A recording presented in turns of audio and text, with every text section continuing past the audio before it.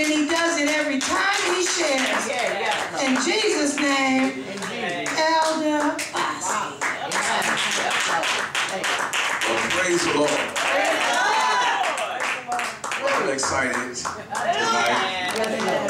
It's good for you to stand up for a few, few seconds. Let the blood begin to go through you. Praise God. You, may be seated. You know, uh, some of you don't know, but I've known I've known Apostle before he took over the church.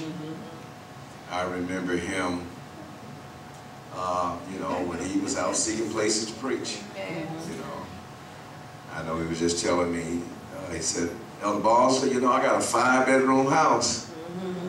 I said, "Yeah, brother. I remember when you was in an apartment too." Hallelujah. Yeah. But you know, uh, like I said, we've probably known each other for probably, I would say, 10 years. Okay. And I would go by his house, you know, and uh, talk to him sometime or eat with him, you know. But I always respected him as a man of God. He always respected me as a man of God. Amen. Hallelujah. Hallelujah. I never played a joke with him. He never played a joke with me. Amen. Hallelujah. Hallelujah. The other van was here. As matter of fact, my Thursday night was full of people. They was coming in from San Francisco, uh, Rio Hondo, or something, all all over. And I and all I did was just talk the word of God. Amen. And and God bless the services. Hallelujah. Hallelujah. And listen to all the testimonies uh, tonight. You know, uh, prophecy is, is, is, is all about Jesus Christ. Amen. Hallelujah. We call it we call it testifying. But when you get up and talk about that Jesus has saved you, that is the spirit of prophecy.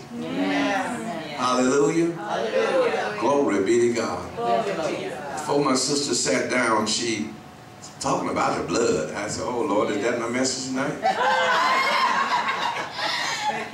Hallelujah. Hallelujah. Thank you, Jesus. Thank you.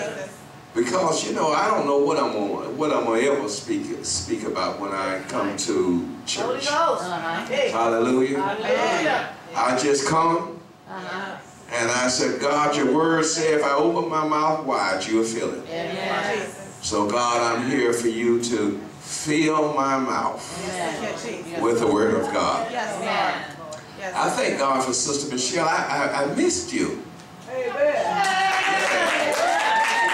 Hallelujah. Thank you, Jesus. Thank you. You know, a lot of time, uh, the the way they, they they write our Bibles and things, you know, it, they have not did uh, a good job identifying the blacks in the Bible. Hallelujah. Hallelujah. Now, now in our Bible, uh, one of the greatest woman that is in the Bible that was married to the greatest man in the Bible, her name was Zipporah.